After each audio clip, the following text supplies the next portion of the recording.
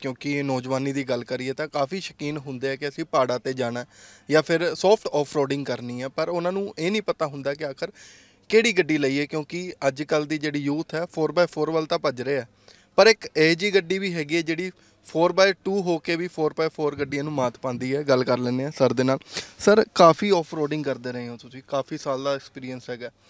ਖਾਸ ਕਰ ਆਫਰੋਡਿੰਗ ਲਈ ਜਾਂ ਫਿਰ ਸੌਫਟ ਆਫਰੋਡਿੰਗ ਲਈ ਜਾਂ ਫਿਰ ਪਹਾੜਾਂ ਲਈ ਜਿੱਥੇ ਅਸੀਂ ਅਗਰ ਮਨਾਲੀ ਤੋਂ ਉੱਪਰ ਜਾਂਦੇ ਹਾਂ, ਕਿਹੜੀ ਗੱਡੀ ਜਿਹੜੀ ਹੈ ਲੈਣੀ ਚਾਹੀਦੀ ਹੈ? ਕਿਉਂਕਿ ਲੋਕੀ ਜਾਂਦੇ ਤਾਂ ਹੈ ਗੱਡੀਆਂ ਲੈ ਕੇ, ਪਰ ਨੁਕਸਾਨ ਕਰਾ ਕੇ ਵਾਪਸ ਆਉਂਦੇ ਦੇਖੋ ਜੀ, ਅਗਰ ਆਪਾਂ ਕਿਤੇ ਵੀ ਟਰੈਵਲ ਕਰਦੇ ਹਾਂ, ਖਾਸ ਕਰਕੇ ਅਗਰ ਆਪਾਂ ਆਫ ਰੋਡਿੰਗ ਨੂੰ ਅਗਰ ਆਪਾਂ ਮੱਦੇਨਜ਼ਰ ਰੱਖ ਕੇ ਚੱਲੀਏ, ਜੇ ਆਪਾਂ ਥੋੜੀ ਜਿਹੀ ਟੁੱਟੀਆਂ ਫੁੱਟੀਆਂ ਸੜਕਾਂ ਤੇ ਜ਼ਿਆਦਾ ਜਾਣਾ ਜਾਂ ਆਪਾਂ ਐਡਵੈਂਚਰ ਕਰਨਾ, ਤਾਂ ਬੰਦਾ ਪ੍ਰੈਫਰ ਕਰਦਾ ਹੈ ਕਿ 4x4 ਗੱਡੀ ਹੀ ਲੈ ਕੇ ਜਾਈਏ, ਕਿਉਂਕਿ ਉੱਥੇ ਬਹੁਤ ਸਾਰੀਆਂ ਐਸੀਆਂ ਕੰਡੀਸ਼ਨਸ ਆਉਂਦੀਆਂ ਜਿੱਥੇ ਆਪਾਂ ਨੂੰ 4 ਵੀਲ ਗੱਡੀ ਹੀ ਚਾਹੀਦੀ ਹੈ। ਬਟ ਜਿੱਦਾਂ ਆਪਾਂ ਇਹ ਜੀਪ ਕੰਪਸ 'ਚ ਬੈਠੇ ਹਾਂ ਇਹ 4x2 ਆਟੋਮੈਟਿਕ ਡੀਜ਼ਲ ਗੱਡੀ ਹੈ, ਜਿਹੜੀ ਲੇਟੈਸਟ ਅੱਜ ਹੀ ਲਾਂਚ ਹੋਈ ਹੈ। ਔਰ ਇਹਦੀ ਖਾਸੀਅਤ ਕੀ ਹੈ ਕਿ ਇਹਦੀ ਗਰਾਊਂਡ ਕਲੀਅਰੈਂਸ ਇਹਦਾ ਡਿਪਾਰਚਰ ਐਂਗਲ ਅਪਰੋਚ ਐਂਗਲ ਇੰਨਾ ਵਧੀਆ ਹੈ ਕਿ 4x2 ਹੋਣ ਦੇ ਬਾਵਜੂਦ ਵੀ ਇਹ ਬਹੁਤ ਸਾਰੀਆਂ ਐਸੀਆਂ ਆਬਸਟੈਕਲਸ ਦੇ ਉੱਤੋਂ, ਐਸੀ ਟਰੇਨ ਦੇ ਵਿੱਚੋਂ ਇਹ ਨਿਕਲ ਜਾਂਦੀ ਹੈ ਜਿੱਥੇ 4x4 ਦੀ ਲੋੜ ਨਹੀਂ ਪੈਂਦੀ। ਸੋ ਮੇਰੇ ਹਿਸਾਬ ਦੇ ਨਾਲ ਅਗਰ ਗੱਡੀ ਦੀ ਗਰਾਊਂਡ ਕਲੀਅਰੈਂਸ ਚੰਗੀ ਹੋਵੇ ਔਰ ਉਹਦੀ ਅਪਰੋਚ ਐਂਗਲ ਔਰ ਡਿਪਾਰਚਰ ਐਂਗਲ ਚੰਗਾ ਹੋਵੇ ਤਾਂ ਉਹ ਗੱਡੀ ਦੀ ਕੈਪੇਬਿਲਿਟੀ ਬਹੁਤ ਵੱਧ ਜਾਂਦੀ ਹੈ। ਤੁਸੀਂ ਕਾਫੀ ਸਾਲਾਂ ਤੁਹਾਡਾ ਐਕਸਪੀਰੀਅੰਸ ਹੈਗਾ ਆਫਰੋਡਿੰਗ ਦਾ। ਸਭ ਤੋਂ ਪਹਿਲਾਂ ਜਦੋਂ ਗੱਡੀ ਦੇਖਦੇ ਹੋ ਸਭ ਤੋਂ ਪਹਿਲਾਂ ਚੈੱਕ ਕੀ ਕਰਦੇ ਹੋ? ਦੇਖੋ ਜੀ ਟੂ ਬੀ ਓਨੈਸਟ ਅਗਰ ਮੈਂ ਉਹੀ ਗੱਲ ਹੈ ਕਿ ਬੀਇੰਗ ਐਨ ਆਫ ਰੋਡਰ ਤੇ ਮੇਰਾ ਧਿਆਨ ਤਾਂ ਸਭ ਤੋਂ ਪਹਿਲਾਂ ਦੇਖੋ 4x4 ਤੇ ਹੀ ਜਾਂਦਾ ਕਿਉਂਕਿ ਅਸੀਂ ਜ਼ਿਆਦਾਤਰ ਰਹਿਣਾ ਹੀ ਐਸੀ ਟੈਰੇਨਸ ਦੇ ਵਿੱਚ ਹੁੰਦਾ ਜਿੱਥੇ ਆਪਾਂ ਨੂੰ 4x2 ਗੱਡੀ ਨਹੀਂ। ਤੇ ਦੂਸਰਾ ਨੋ ਡਾਊਟ ਜਿਹੜਾ ਮੇਰਾ ਮੇਨ ਜਿਹੜਾ ਮਕਸਦ ਇਹ ਹੁੰਦਾ ਹੈ ਕਿ ਲਗਜ਼ਰੀ ਦੇ ਨਾਲ ਨਾਲ ਮੈਨੂੰ ਉਹਦਾ ਗੱਡੀ ਦੀ ਗਰਾਊਂਡ ਕਲੀਅਰੈਂਸ ਔਰ ਅਗਲਾ ਬੰਪਰ ਪਿਛਲਾ ਬੰਪਰ ਜਿਹਨੂੰ ਆਪਾਂ ਅਪਰੋਚ ਐਂਗਲ ਡਿਪਾਰਚਰ ਐਂਗਲ ਕਹਿੰਦੇ ਆ, ਉਹ ਮੈਨੂੰ ਲੱਗਦਾ ਹੈ ਕਿ ਉਹ ਬੈਟਰ ਹੋਣਾ ਚਾਹੀਦਾ ਹੈ ਤਾਂ ਕਿ ਅਗਰ ਮੈਂ ਕਿਤੇ ਜਾਵਾਂ ਤੇ ਮੇਰਾ ਨੁਕਸਾਨ ਨਾ ਹੋਵੇ। ਅਸੀਂ ਦੇਖਦੇ ਹਾਂ, ਤਸਵੀਰਾਂ ਆਉਂਦੀਆਂ ਨੇ, ਚਾਹੇ ਰਾਜਸਥਾਨ ਦੀ ਗੱਲ ਕਰ ਲਈਏ, ਦੁਬਈ ਦੀ ਗੱਲ ਕਰ ਲਈਏ, ਜਦੋਂ ਡੈਜ਼ਰਟ ਸਫਾਰੀ ਦੀ ਗੱਲ ਹੁੰਦੀ ਹੈ ਜਾਂ ਫਿਰ ਜਦੋਂ ਲੇਹ ਲਦਾਖ ਦੀ ਗੱਲ ਹੁੰਦੀ ਹੈ ਤਾਂ ਕਾਫੀ ਚੀਜ਼ਾਂ ਜਿਹੜੀਆਂ ਨੇ ਗੱਡੀ ਦੇ ਵਿੱਚ ਖਾਸ ਕਰ ਦੇਖੀਆਂ ਜਾਂਦੀਆਂ ਨੇ। ਤੁਸੀਂ ਖਾਸ ਕਿਹੜੀ ਚੀਜ਼ ਹੈਗੀ ਹੈ ਜੋ ਤੁਹਾਡੀ ਗੱਡੀ ਨੂੰ ਖਾਸ ਬਣਾਉਂਦੀ ਹੈ? ਕਿਹੜੀ ਕਿਹੜੀ ਗੱਡੀਆਂ ਤੇ ਆਫਰੋਡਿੰਗ ਹਜੇ ਤੱਕ ਤੁਸੀਂ ਕੀਤੀ ਹੈ? ਮੈਂ ਜੀ ਤਕਰੀਬਨ ਜਿੰਨੀਆਂ ਵੀ 4x4 ਨੇ ਸਾਰੀ ਗੱਡੀਆਂ ਤੇ ਹੀ ਮਤਲਬ ਕੀਤੀ ਹੋਈ ਆਫ ਰੋਡਿੰਗ ਜੀ। ਤੇ ਮੇਰੀਆਂ ਜ਼ਿਆਦਾ ਜਿਹੜੀਆਂ ਕੰਪੀਟੀਸ਼ਨ ਵਾਲੀਆਂ ਗੱਡੀਆਂ ਨੇ, ਉਹ ਹਾਈਲੀ ਮੋਡੀਫਾਈਡ ਨੇ। ਉਹਦੇ 'ਚ ਬਹੁਤ ਸਾਰੀਆਂ ਗੱਡੀਆਂ ਦਾ ਕਿਸੇ ਕੁਝ ਗੱਡੀ ਦਾ ਸਮਾਨ ਲੱਗਾ ਕਿਸੇ ਦਾ ਕੁਝ ਲੱਗਾ ਹਾਈਟ ਬਹੁਤ ਜ਼ਿਆਦਾ ਹੈ ਤੇ ਉਹ ਉਸ ਹਿਸਾਬ ਨਾਲ ਉਹ ਕੰਪੀਟੀਸ਼ਨ ਦੇ ਹਿਸਾਬ ਨਾਲ ਤਿਆਰ ਹੋਈਆਂ ਹੋਈਆਂ। ਤੇ ਜਦੋਂ ਮੈਂ ਸੈਂਡ ਡਿਊਨਿੰਗ ਲਈ ਜਾਣਾ ਤੇ ਮੈਂ ਜੀਪ ਰੈਂਗਲਰ ਨੂੰ ਬਹੁਤ ਜ਼ਿਆਦਾ ਪਸੰਦ ਕਰਦਾ, ਕਿਉਂਕਿ ਉਹਦੀ ਕੈਪੇਬਿਲਿਟੀ ਗੱਡੀ ਦੀ ਬਹੁਤ ਹੀ ਜ਼ਬਰਦਸਤ ਹੈ। ਔਰ ਉਹ ਇੱਕ ਟਰੂ ਆਫ ਰੋਡਰ ਹੈ ਮੇਰੇ ਖਿਆਲ ਨਾਲ ਜੀਪ ਰੈਂਗਲਰ ਤੋਂ ਉੱਤੇ ਤਾਂ ਕੋਈ ਹੈ ਹੀ ਨਹੀਂ। ਅਸੀਂ ਜਿੱਦਾਂ ਇਸ ਮਾਡਲ ਦੇ ਵਿੱਚ ਬੈਠੇ ਆ ਕੰਪਸ ਦੀ ਜੇ ਮੈਂ ਗੱਲ ਕਰਾਂ, ਇਹਦੇ ਜਿਹੜਾ 4x4 ਮਾਡਲ ਹੈ, ਉਹ ਬਹੁਤ ਹੀ ਜ਼ਿਆਦਾ ਕੈਪੇਬਲ ਹੈ ਔਰ ਲਗਜ਼ਰੀ ਦੇ ਨਾਲ ਇਹਦਾ ਸਾਈਜ਼ ਇਹਨੂੰ ਹੋਰ ਇਹਦੀ ਕੈਪੇਬਿਲਿਟੀ ਵਧਾ ਦਿੰਦਾ ਹੈ ਕਿ ਉਹਦਾ ਛੋਟਾ ਸਾਈਜ਼ ਹੈ ਇਹਦਾ। ਬਹੁਤ ਕੰਪੈਕਟ ਹੈ। ਤਾਂ ਆਬਸਟੈਕਲ ਤੋਂ ਬਹੁਤ ਜਲਦੀ ਨਿਕਲ ਜਾਂਦੀ ਹੈ। ਤਾਂ ਇਹਨੂੰ ਅਗਰ ਆਪਾਂ ਕਿਸੇ ਵੀ ਟੈਰੇਨ ਤੇ ਚਲਾਈਏ ਇਹਦੇ 'ਚ 4x4 ਆਪਸ਼ਨ ਵੀ ਹੈ 4x2 ਆਪਸ਼ਨ ਵੀ ਹੈ। ਹਾਂ ਸਰ ਤੁਹਾਡੇ ਤੋਂ ਵੀ ਸਵਾਲ ਕਰ ਲੈਂਦੇ ਆ ਤੁਸੀਂ ਗੱਡੀ ਦੇ ਵਿੱਚ ਖਾਸ ਕਰ ਕੀ ਗੱਲ ਦੇਖਦੇ ਹੋ? ਤੇ ਦੂਜਾ ਸਵਾਲ ਮੇਰਾ ਇਹ ਹੈ ਇਸ ਗੱਡੀ ਦੇ ਵਿੱਚ ਖਾਸੀਅਤ ਕੀ ਹੈ? ਗੱਡੀ ਤਾਂ ਦੇਖੋ ਜੇ ਅਸੀਂ ਆਫਰੋਡਿੰਗ ਦੀ ਗੱਲ ਕਰੀਏ ਤਾਂ ਆਫਰੋਡਿੰਗ ਤਾਂ ਕਰਦੇ ਹੀ ਰਹਿੰਦੇ ਆ ਕਿ ਚਲੋ ਯਾਰਾਂ ਦੋਸਤਾਂ ਨਾਲ ਕਦੇ ਲੈ ਗਏ ਬਟ ਜਿਹੜੀ ਮੈਜੋਰਿਟੀ ਟਾਈਮ ਤਾਂ ਗੱਡੀ ਔਨ ਰੋਡ ਹੀ ਚੱਲਦੀ ਹੈ ਟਾਰਮੈਕ ਤੇ ਚੱਲਦੀ ਹੈ। ਉਹਦੇ ਤੇ ਇਹਦੀ ਜਿਹੜੀ ਹੈਂਡਲਿੰਗ ਹੈ ਸਟੀਅਰਿੰਗ ਦਾ ਜਿਹੜਾ ਕੰਟਰੋਲ ਆਂਦਾ ਹੈ ਗੱਡੀ ਦਾ ਤੇ ਮਾਈਲੇਜ ਹੋ ਗਈ। ਔਨ ਰੋਡ ਕੀ ਕੀ ਤੁਹਾਨੂੰ ਬੈਨੀਫਿਟਸ ਦਿੰਦੀ ਹੈ ਗੱਡੀ? ਸੇਫਟੀ ਕਿੰਨੀ ਹੈ ਗੱਡੀ ਦੀ? ਉਹਦੀ ਇੰਜਨ ਪਾਰ ਕਿੰਨੀ ਹੈ? ਓਵਰਟੇਕਿੰਗ ਤੇ ਹਾਈਵੇ ਤੇ ਸੇਫ ਹਾਈਵੇ ਤੇ ਸਟੇਬਿਲਿਟੀ ਕਿੰਨੀ ਹੈ? ਇਹ ਸਾਰੇ ਫੀਚਰਸ ਬੰਦਾ ਦੇਖਦਾ ਜਦੋਂ ਗੱਡੀ ਲੈਂਦਾ ਤਾਂ ਜੇ ਅਸ- ਇਸ ਗੱਡੀ ਦੀ ਗੱਲ ਕਰੀਏ ਤਾਂ ਜਦੋਂ ਦੀ ਲਾਂਚ ਹੋਈ ਹੈ ਉਦੋਂ ਦੀ ਸਾਰੇ ਫੀਚਰ ਇਹ ਸਾਰੇ ਫੀਚਰਸ ਕਸਟਮਰਸ ਬਹੁਤ ਪਸੰਦ ਕਰਦੇ ਨੇ ਸਾਡੇ। ਕਿ ਕੰਪਸ ਜਿਹੜੀ ਗੱਡੀ ਹੈ ਬਹੁਤ ਜ਼ਿਆਦਾ ਸੋਲਿਡ ਹੈ ਸਟੇਬਲ ਹੈ ਪਾਵਰ ਵਾਈਜ਼ ਫੁੱਲੀ ਕੈਪੇਬਲ ਹੈ। ਜਿਹੜਾ ਇਹਦਾ ਇੰਜਨ ਆਂਦਾ ਹੈ 5 ਸਟੇਜ ਫਿਊਲ ਬਰਨਿੰਗ ਪ੍ਰੋਸੈਸ ਦੇ ਨਾਲ ਆਂਦਾ ਹੈ ਜਿਹੜਾ ਕਿ ਅਨਮੈਚਡ ਮਾਈਲੇਜ ਦਿੰਦਾ ਹੈ ਇਸ ਸੈਗਮੈਂਟ 'ਚ। ਸਰ ਤੁਹਾਨੂੰ ਕਿੰਨਾ ਸਾਲ ਹੋ ਗਏ ਆਫਰੋਡਿੰਗ ਕਰਦੇ ਹੋਏ? ਤੇ ਕਿੱਥੋਂ ਕਿੱਥੋਂ ਸ਼ੁਰੂਆਤ ਕੀਤੀ? ਕਿੱਥੇ ਕਿੱਥੇ ਕਰ ਚੁੱਕੇ ਹੋ ਆਫਰੋਡ ਮੈਨੂੰ ਜੀ ਤਕਰੀਬਨ ਆਲਮੋਸਟ 15 ਕੁ ਸਾਲ ਹੋ ਗਏ ਜੀ ਆਫ ਰੋਡਿੰਗ ਕਰਦੇ। ਤੇ ਮੈਂ ਇੰਡੀਆ ਦੇ ਵਿੱਚ ਜਿੰਨੇ ਵੀ ਮੇਜਰ ਕੰਪੀਟੀਸ਼ਨਸ ਨੇ ਉਹ ਸਾਰੇ ਨਾਰਥ ਤੋਂ ਲੈ ਕੇ ਸਾਊਥ ਲੈ ਕੇ ਮੈਂ ਸਾਰੇ ਕਵਰ ਕੀਤੇ ਫਿਰ ਜਿਹੜਾ ਇੱਕ ਵਰਲਡ ਦਾ ਜਿਹੜਾ ਟਫੈਸਟ ਆਫ ਰੋਡ ਚੈਲੰਜ ਹੁੰਦਾ ਆਰਐਫਸੀ ਚੈਲੰਜ ਮਲੇਸ਼ੀਆ ਤੇ ਮੈਂ ਮਤਲਬ ਪਹਿਲਾ ਤੇ ਇਕਲੌਤਾ ਇੰਡੀਅਨ ਆ ਜਿਹੜਾ ਉੱਥੇ ਮਲੇਸ਼ੀਆ ਬਾਹਰ ਜਾ ਕੇ ਇਹਨਾਂ ਨੂੰ ਰਿਪਰੈਜ਼ੈਂਟ ਕਰਕੇ ਉੱਥੇ ਜਾ ਕੇ ਔਰ ਉੱਥੋਂ ਜਿੱਤ ਕੇ ਆਏ ਜੀ। ਕਿੱਦਾਂ ਦਾ ਐਕਸਪੀਰੀਅੰਸ ਰਿਹਾ ਸੀ? ਕਿਉਂਕਿ ਮਲੇਸ਼ੀਆ ਦੀ ਗੱਲ ਕੀਤੀ ਹੈ ਤੁਸੀਂ, ਉਹ ਤਾਂ ਪੂਰੇ ਵਰਲਡ ਦੇ ਲੋਕ ਉੱਧਰ ਆਉਂਦੇ ਆ। ਬਿਲਕੁਲ ਜੀ, ਜਿਹੜਾ ਉੱਥੇ ਜਿਹੜਾ ਚੈ- ਜਿਹੜਾ ਆਫ ਰੋਡਿੰਗ ਜਿਹੜਾ ਚੈਲੰਜ ਹੁੰਦਾ, ਉਹਨੂੰ ਮਦਰ ਇਵੈਂਟ ਕਹਿੰਦੇ ਨੇ ਤੇ ਉੱਥੇ ਸਾਰੇ ਵਰਲਡ ਦੇ ਜਿੱਥੋਂ ਜਿੱਥੇ ਦੇ ਵੀ ਜਿਹੜੇ ਚੈਂਪੀਅਨ ਹੁੰਦੇ ਨੇ, ਉਹ ਸਾਰੇ ਉੱਥੇ ਆ ਕੇ ਫਿਰ ਵਾਪਸ ਕੰਪੀਟੀਸ਼ਨ ਹੁੰਦਾ। ਜਿਵੇਂ ਮੈਂ ਇੰਡੀਆ ਚੈਪਟਰ ਜਿੱਤਿਆ ਸੀ ਤੇ ਮੈਂ ਇੱਥੋਂ ਕੁਆਲੀਫਾਈ ਕਰਕੇ ਫਿਰ ਮੈਂ ਉੱਥੇ ਬਾਹਰ ਗਿਆ।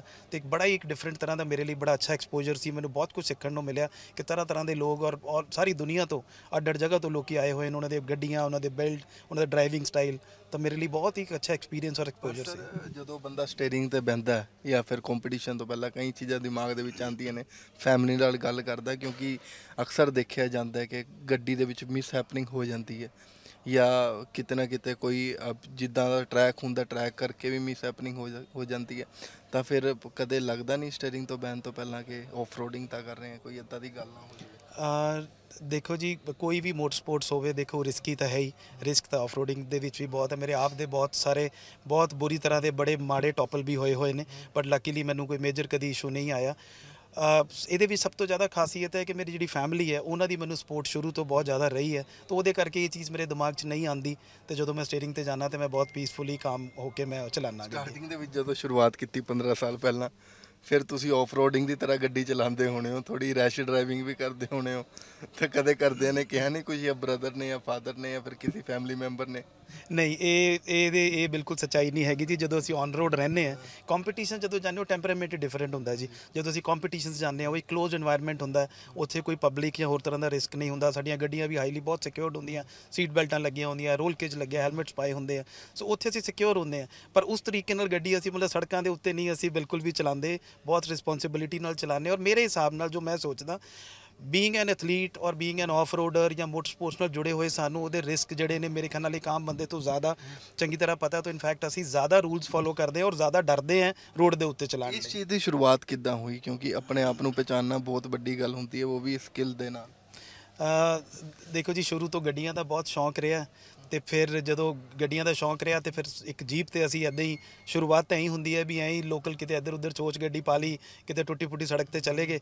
ਬਸ ਉੱਥੋਂ ਹੀ ਕਰਦੇ ਕਰਦੇ ਸ਼ੌਕੀਆ ਕਰਦੇ ਕਰਦੇ ਹੀ ਫਿਰ ਕੁਝ ਸਾਡੇ ਦੋ ਚਾਰ ਦੋਸਤ ਐਸੇ ਨੇ, ਫਿਰ ਅਸੀਂ ਇੱਕ ਕਲੱਬ ਬਣਾਇਆ ਆਪਣਾ, ਤੋਂ ਆਫ ਰੋਡਿੰਗ ਕਲੱਬ ਬਣਾਇਆ। ਕਲੱਬ ਤੋਂ ਫਿਰ ਅਸੀਂ ਅੱਗੇ ਕੰਪੀਟੀਸ਼ਨਸ ਚਲੇ ਗਏ। ਸੋ ਹੌਲੀ ਹੌਲੀ ਐਦਾਂ ਹੀ ਚੀਜ਼ਾਂ ਵਧਦੀਆਂ ਗਈਆਂ। ਇੰਡੀਆ ਦੀ ਗੱਲ ਕਰ ਲਈਏ ਇੰਡੀਆ ਦੇ ਵਿੱਚ ਟਰੈਕਸ ਨਹੀਂ ਹੈਗੇ ਆਊਟ ਆਫ ਇੰਡੀਆ ਦੇ ਵਿੱਚ ਟਰੈਕਸ ਹੈਗੇ ਸਪੈਸ਼ਲ ਫਿਰ ਲੱਗਦਾ ਨਹੀਂ ਕਿ ਕਾਫੀ ਔਖਾ ਵੀ ਹੋ ਜਾਂਦਾ।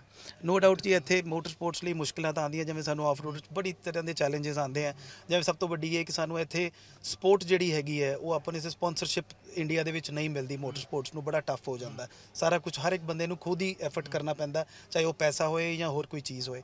ਸੇਮ ਐਦੀ ਸਾਨੂੰ ਟਰੈਕਸ ਦੀ ਵੀ ਯੈਸ ਸਾਨੂੰ ਦਿੱਕਤ ਆਉਂਦੀ ਹੈ ਬਟ ਹੁਣ ਬਹੁਤ ਸਾਲ ਹੋ ਗਏ ਸਾਨੂੰ, ਹੁਣ ਹੌਲੀ ਹੌਲੀ ਜਿਵੇਂ ਪੰਜਾਬ ਗਵਰਨਮੈਂਟ ਹੈ, ਚੰਡੀਗੜ੍ਹ ਗਵਰਨਮੈਂਟ ਹੈ, ਇਹ ਹੌਲੀ ਹੌਲੀ ਹੁਣ ਸਾਨੂੰ ਸਪੋਰਟ ਕਰਦੀਆਂ ਨੇ, ਤਾਂ ਸਾਨੂੰ ਕੁਝ ਨਾ ਕੁਝ ਜਗ੍ਹਾ ਹੈ ਜਾਂ ਕੋਈ ਐਸੀ ਪਰਮਿਸ਼ਨ ਸਾਨੂੰ ਲੈਣੀਆਂ ਥੋੜੀਆਂ ਈਜ਼ੀ ਹੋ ਜਾਂਦੀਆਂ। ਹੁਣ ਹੌਲੀ ਹੌਲੀ ਰਸਤੇ ਖੁੱਲ ਰਹੇ ਨੇ ਤੇ ਅੱਗੇ ਅੱਗੇ ਸੌਖਾ ਹੋ ਜਾਊਗਾ। ਕਿਹੜੀ ਚੀਜ਼ ਮੋਟੀਵੇਟ ਕਰਦੀ ਹੈ ਤੁਹਾਨੂੰ? ਜਦੋਂ ਵੀ ਸਟੀਅਰਿੰਗ ਤੇ ਉੱਤੇ ਬੈੰਨੇ ਹੋ ਰੇਸ ਰੇਸ ਕਰਨ ਤੋਂ ਪਹਿਲਾਂ ਫਿਰ ਕਿਹੜੀ ਚੀਜ਼ ਮੋਟੀਵੇਟ ਕਰਦੀ ਹੈ ਕਿਹੜੀ ਚੀਜ਼ ਦਿਮਾਗ ਦੇ ਵਿੱਚ ਚੱਲਦੀ ਹੈ ਜਦੋਂ ਮੈਂ ਬੈਠਦਾ ਮੇਰੇ ਲਈ ਐਕਚੁਅਲੀ ਇਹ ਜਦੋਂ ਮੈਂ ਰੇਸ ਕਰਦਾ ਜਾਂ ਜਦੋਂ ਮੈਂ ਆਫ ਰੋਡਿੰਗ ਕਰਦਾ ਮੇਰੇ ਲਈ ਇੱਕ ਸਟ੍ਰੈਸ ਬਸਟਰ ਹੈ। ਜਦੋਂ ਮੈਂ ਜਾਣਾ ਤੇ ਮੈਂ ਇਹ ਫੀਲ ਕਰਦਾ ਕਿ ਜਿੰਨੀ ਦੇਰ ਮੈਂ ਉਸ ਸਟੇਜ 'ਚ ਹੈ ਜਿੰਨੀ ਦੇਰ ਮੈਂ ਇਹ ਕਰ ਰਿਹਾ ਉਹ ਟਾਈਮ ਮੇਰਾ ਧਿਆਨ ਕਿਸੇ ਵੀ ਚੀਜ਼ ਵੱਲ ਨਹੀਂ ਹੁੰਦਾ। ਉਹ ਪੂਰਾ ਦਾ ਪੂਰਾ ਟਾਈਮ 2000% ਸਿਰਫ ਮੇਰਾ ਹੈ। ਉਸ ਟਾਈਮ ਜੋ, ਉਹ ਟਾਈਮ ਮੈਂ ਇੰਜੋਏ ਕਰਦਾ, ਮੇਰੇ ਖਿਆਲ ਨਾਲ ਉਹੀ ਚੀਜ਼ ਮੈਨੂੰ ਮੋਟੀਵੇਟ ਕਰਦੀ ਹੈ ਅੱਗੇ ਲੈ ਕੇ ਜਾਣ ਲਈ। ਕਾਫੀ ਹਾਲੀਵੁੱਡ ਮੂਵੀਜ਼ ਦੇ ਵਿੱਚ ਵੀ ਦੇਖਣ ਨੂੰ ਮਿਲਿਆ। ਖਾਸ ਕਰ ਗੱਲ ਕਰ ਲਈਏ ਫਾਸਟ ਐਂਡ ਫਿਊਰੀਅਸ ਦੀ, ਜਦੋਂ ਵਿਨ ਡੀਜ਼ਲ ਆਉਂਦੇ ਆ ਗੱਡੀ ਲੈ ਕੇ, ਤਾਂ ਕਈ, ਕਾਫੀ ਮੋਡੀਫਾਈਡ ਹੁੰਦੀਆਂ ਨੇ ਗੱਡੀਆਂ। ਉਹ ਉਹ ਟੈਕਨੋਲੋਜੀ ਮੈਨੂੰ ਲੱਗਦਾ ਕਿ ਇੰਡੀਆ ਦੇ ਵਿੱਚ ਅਜੇ ਹਾਈ ਹੋਣੀ ਹੈ।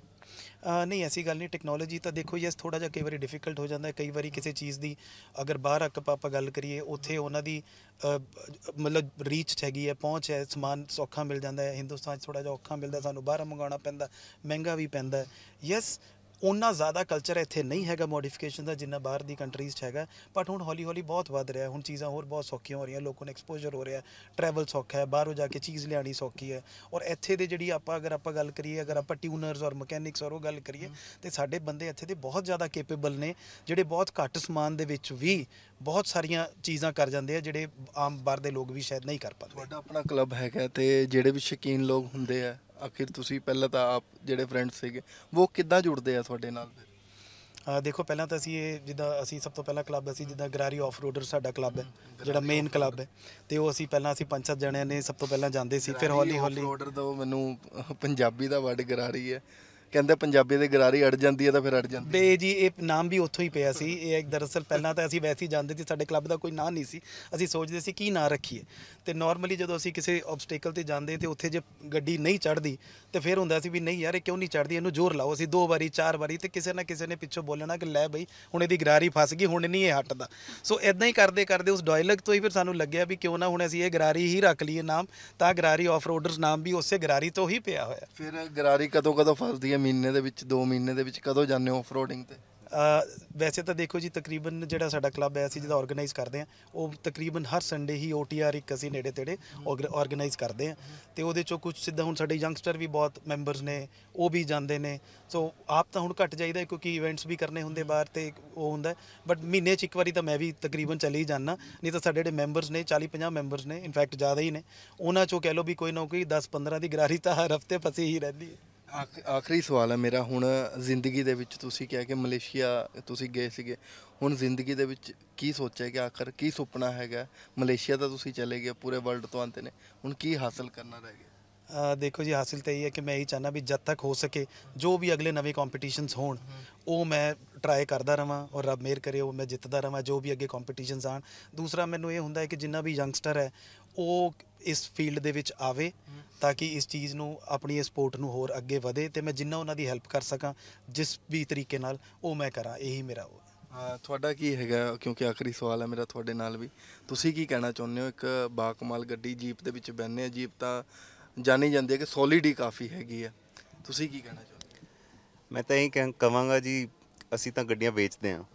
ਤਾਂ ਸਰ ਜਿਵੇਂ ਸਾਡੇ ਨਾਲ ਬੈਠੇ ਨੇ, ਸਰ ਦੇ ਨਾਲ ਵੀ ਸਾਡੀ ਜਿਹੜੀ ਐਸੋਸੀਏਸ਼ਨ ਹੈ ਯੰਗਸਟਰਸ ਨੂੰ ਮੋਟੀਵੇਟ ਕਰਨ, ਉਹਨਾਂ ਨੂੰ ਸੇਫਲੀ ਕਿੱਦਾਂ ਆਫ ਰੋਡ ਜਾਣਾ ਹੈ ਤੇ ਸੇਫਲੀ ਤੇ ਰਿਸਪੌਂਸਿਬਲੀ ਸਾਡੀ ਜਿਹੜੀ এনवायरमेंट ਹੈ, ਉਹਨੂੰ ਵੀ ਧਿਆਨ 'ਚ ਰੱਖ ਕੇ ਸੇਫਲੀ ਤੇ ਰਿਸਪੌਂਸਿਬਲੀ ਕਿੱਦਾਂ ਅਸੀਂ ਆਫ-ਰੋਡ ਲੈ ਕੇ ਜਾ ਸਕਦੇ ਹਾਂ ਤੇ ਇੰਜੋਏ ਵੀ ਕਰ ਸਕਦੇ ਹਾਂ, ਆਪਣੀ ਕੈਪੇਬਿਲਿਟੀਜ਼ ਵੀ ਵਧਾ ਸਕਦੇ ਹਾਂ ਤੇ ਸਾਡੇ ਦੇਸ਼ ਦਾ ਨਾਮ ਵੀ ਰੋਸ਼ਨ ਕਰ ਸਕਦੇ ਹਾਂ। ਬਿਲਕੁਲ, ਤੇ ਪਾਜੀ ਹੋਰਾਂ ਨੇ ਬੜਾ ਸੋਹਣਾ ਮੈਸੇਜ ਦਿੱਤਾ ਕਿ ਇੱਕ ਤਰ੍ਹਾਂ ਦੇ ਨਾਲ ਆਫਰੋਡਿੰਗ ਵੀ ਜ਼ਰੂਰੀ ਹੈਗੀ ਹੈ ਤੇ ਆਫਰੋਡਿੰਗ ਦੇ ਨਾਲ ਨਾਲ ਅਸੀਂ ਸਾਰੇ ਜਿਹੜੇ ਨਿਯਮ ਹੁੰਦੇ ਆ ਉਸ ਨੂੰ ਵੀ ਧਿਆਨ ਦੇ ਵਿੱਚ ਲਾ ਕੇ ਔਰ ਆਪਣਾ ਫੈਮਿਲੀ ਦਾ ਧਿਆਨ ਰੱਖ ਕੇ ਜਾਂ ਫਿਰ ਆਸ-ਪਾਸ ਦੇ ਜਿਹੜੇ ਲੋਕ ਨੇ ਉਹਨਾਂ ਨੂੰ ਨੁਕਸਾਨ ਨਾ ਹੋਵੇ ਬੜੀ ਰਿਸਪੌਂਸਿਬਿਲਿਟੀ ਦੇ ਨਾਲ ਆਪਾਂ ਇਹ ਚੀਜ਼ਾਂ ਜਿਹੜੀਆਂ ਨੇ ਕਰ ਸਕਦੇ ਆ ਤੇ ਜੀਪ ਦੇ ਵਿੱਚ ਬੈਠੇ ਹੋਏ ਆ ਬੜੀ ਬਾਕਮਾਲ ਗੱਡੀ ਹੈਗੀ ਆ।